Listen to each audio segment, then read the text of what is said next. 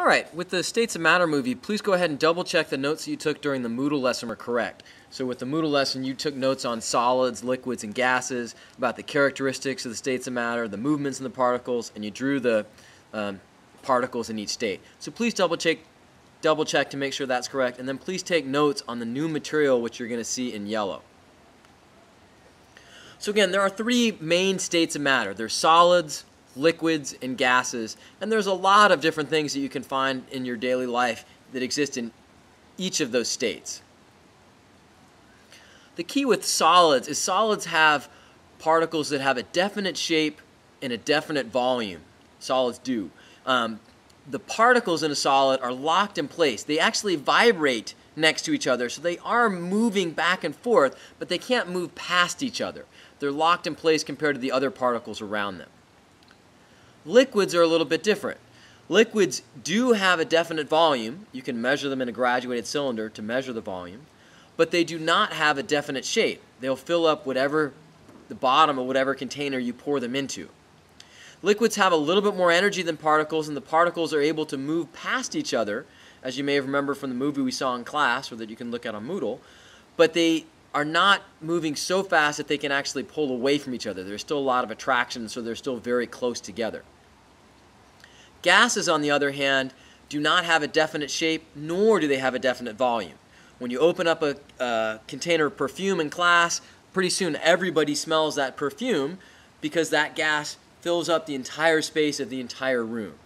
Gases move much faster, and they have enough energy that they've overcome the attraction of the other particles that are around them and so they will fill whatever space is available to them.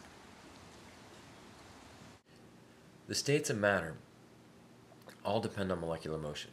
Solids are going to have the slowest moving particles, liquids in between, and then gases are going to have the fastest moving particles.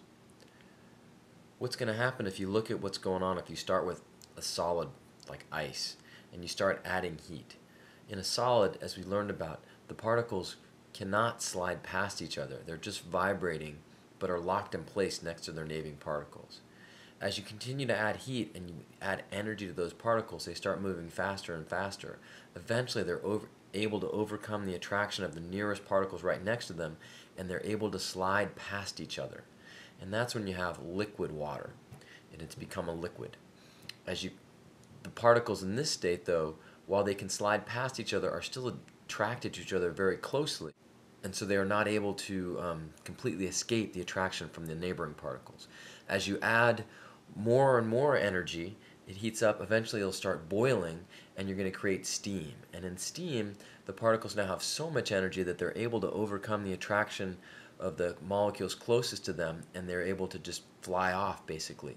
Um, they will still occasionally uh, interact with other molecules, occasionally collide, but they will now basically have the most amount of energy and they're going to fly around and hit into each other. The freezing point and melting point of a substance is when a substance turns from a liquid to a solid. The boiling point is going to be when a substance turns from a, a liquid to a gas. And these are characteristic properties, meaning you can use these to identify a substance.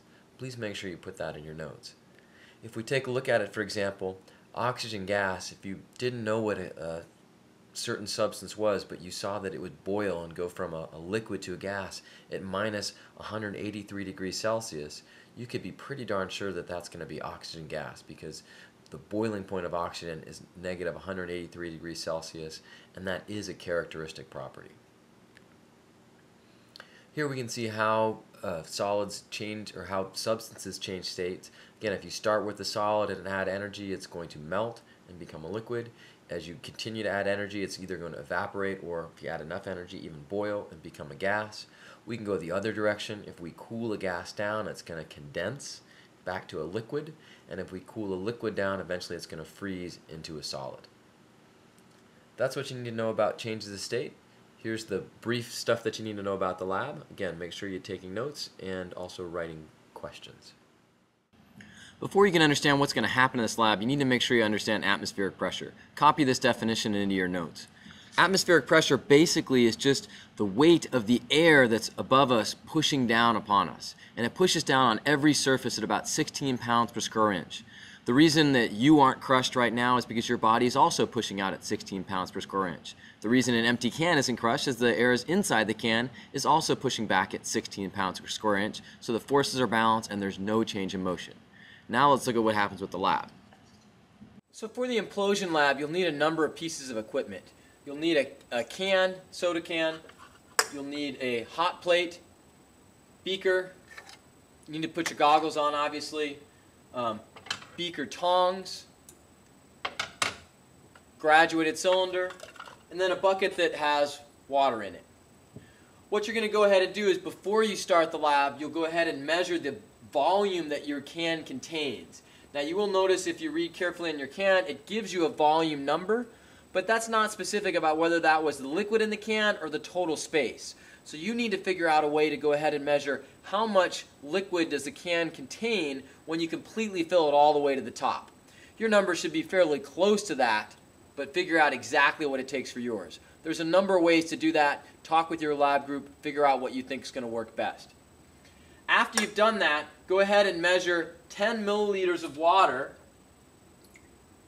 and in your graduated cylinder, remember to read it at eye level, um, straight up and down, bottom of the meniscus, and go ahead and pour that 10 milliliters into the bottom of your can. Now what you're going to want to do is go ahead and heat up your can on the hot plate.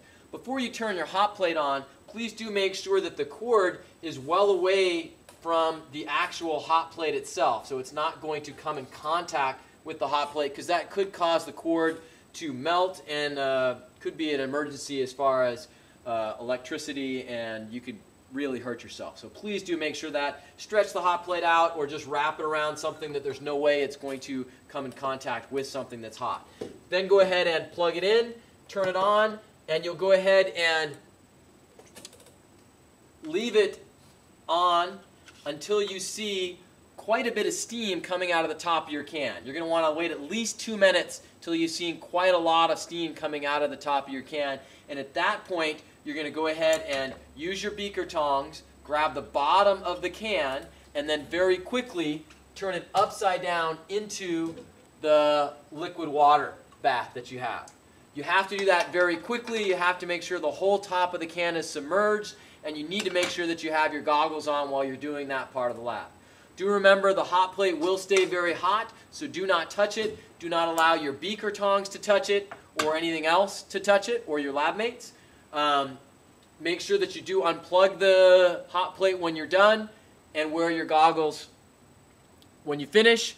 Do make sure that you measure the volume of your can again to find an accurate measurement. You can use tape if you need to to help you out with that. Make sure you ask your teacher or write down any questions that you have. Thank you.